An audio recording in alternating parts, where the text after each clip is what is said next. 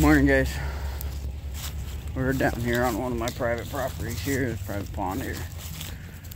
Um, we got at least one coon here. Same trap.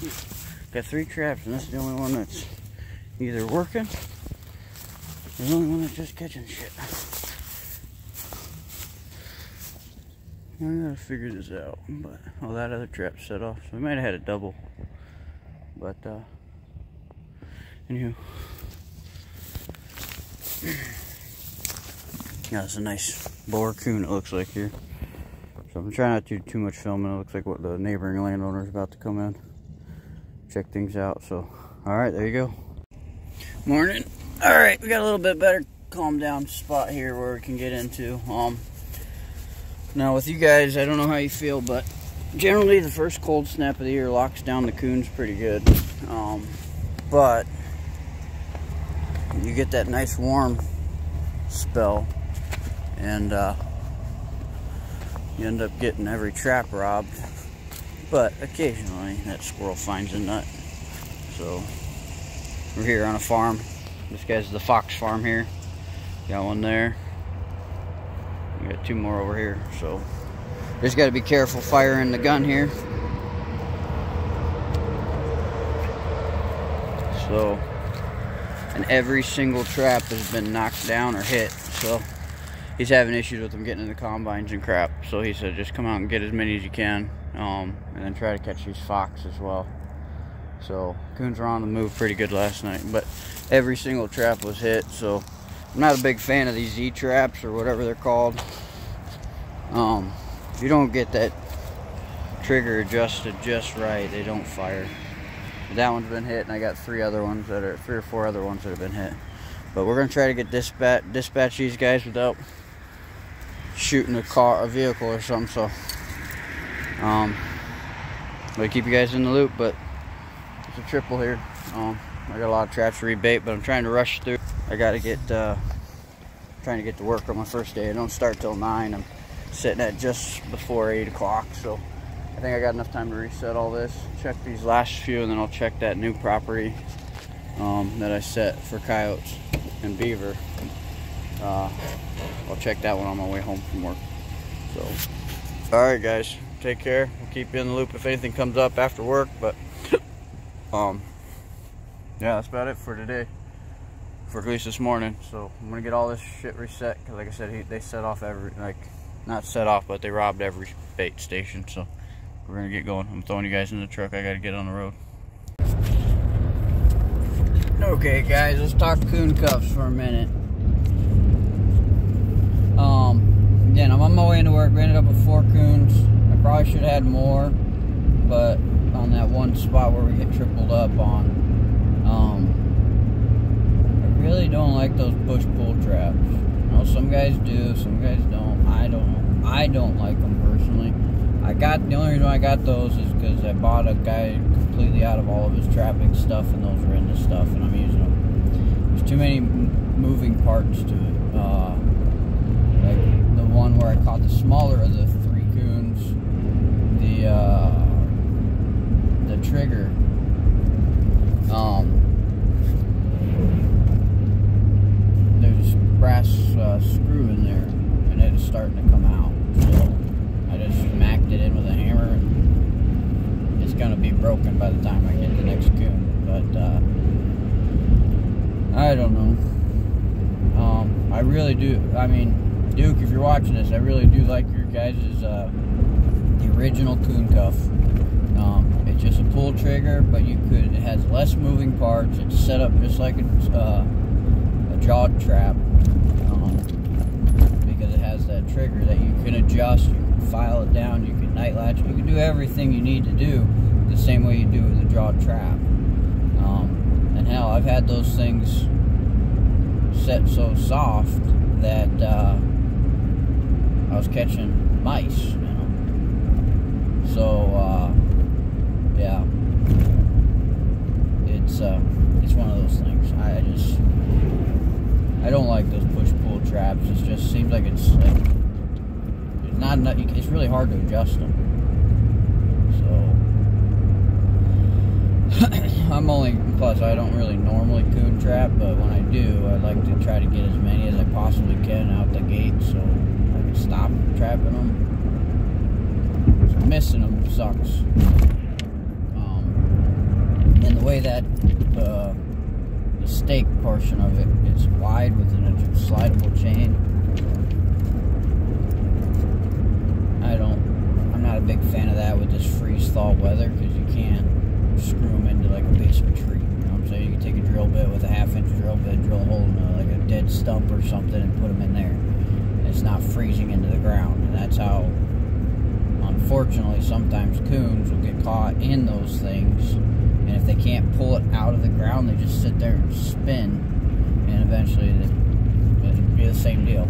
Even if you had your hand in a handcuff and it wouldn't let you move your hand, you'd eventually, and you were fighting it hard enough, you'd spin your wrist right off. So it's just it's a life or death deal for them. So they're gonna fight till the death or fight until they something breaks, you know. Um, so we want to be able to have them traps pull free of whatever's in there and not being able to drill a hole into something, get them up off the ground in this freeze, freezing weather. And it's also a downfall to them. So um,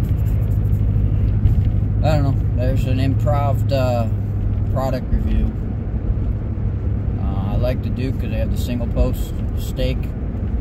Um, when it's warm enough, it's not a problem. It slides in the dirt a little better. Uh, but when it's getting cold out, you just so I mean you're carrying a drill bit anyhow. Um,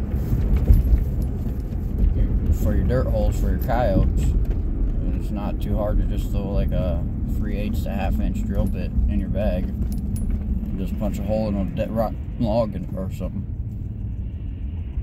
But or hell, even just a two by four, you just literally put a two by four on the ground and put it in there. But you want something heavy enough that they can pull against it, because. But that's what I don't like about these Jeep, these uh, I don't know what they're called, but these push pull traps I got is they have to pull it. There's yeah, they have to pull it so hard that uh, sometimes they pull it up out of the ground, you know, and uh, then it's just laying there on the side, like you've seen some of them in that other video with the coons. They just pull it up, it it doesn't set off the trap. So if I had an adjustable tension on them triggers, I would have had them coon. So, well, I at least would have caught those same coon in earlier traps and not had three or four traps sitting there now not producing because they're empty. Let me know what your thoughts are on that. I've tried to keep it short for you. I know I don't. I've been keep trying to shorten up my video content. I know I don't like watching videos where a lot of guys are just, and I have a bad habit of that. So um, it gets lonely on the trap line. That's what it is. Uh, all right, guys. Well, like I said, this is just going to be a little bit of a improv product review. Um, yeah. Again, for the price, Duke's probably the better way to go. Or just a straight pull trap um, with a trigger on it. With it, you can adjust it just like you adjust pan tension and trigger tension on your jog traps. So uh, for the price, I think those push pulls are I want to say 30, 20 to 30 bucks more a dozen than uh, just regular Dukes are. I haven't priced them out in a long time, especially since the Chinese steel prices are through the roof now. So we'll see. Uh, like I said, I'm starting a job today, so here in a couple years, I'm gonna have a few more traps and start ordering stuff and being able to do those dumb product reviews. Not dumb, but I'll be able to buy stupid shit and just use it, see if I like it. If not, I'll throw it away or sell it. So, uh, we're getting there. I know here in the next couple years, I'm hoping to do some traveling trapping. My buddy, uh, I got a couple buddies down in Oklahoma, so we can multi-purpose that trip. Um, go down there, trap bobcats and coyotes and fox. I think they got some grays down that way. And uh, hog hunt while we're down there. So, uh, yeah, so we're going to be trying to do that. I'm going to try getting Jay on board with one or two of those trips. I think that guy likes to work though, so he might not. We'll see though. Um, I know we talked a little bit about doing some of them. Just packing up a camper and heading south for like when it gets really cold up here. Heading down there and running uh, a bunch of uh, sets down there trying to get into some more otter and um, bobcats. And maybe some species that we don't normally get, like your grays and a little more reds. Um, so I think that'd be pretty neat. Just get a couple other trappers together and we go out there and just start calling around, lining up a shitload of property and just spend a week or two down there. Full week, seven, eight days. And uh, just knock out a bunch of traps and see how much fur we can come back with. I think you get a few of us uh, good trappers out there, we can probably knock out a lot of a lot of fur. Um, I know I enjoy watching the Hoosier boys do that, so I think you guys would enjoy it too. But uh, all right, I'm gonna shut up. I'll see you guys after work if we catch anything. If not, I'll see you in the skinning shed to do a closeout. All right, take care.